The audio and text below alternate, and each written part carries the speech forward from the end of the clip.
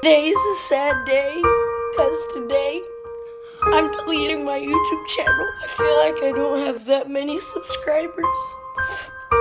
I've been doing YouTube so long, and I just think it's time to quit. Thank you for your support. Lol, get pranked, April Fools.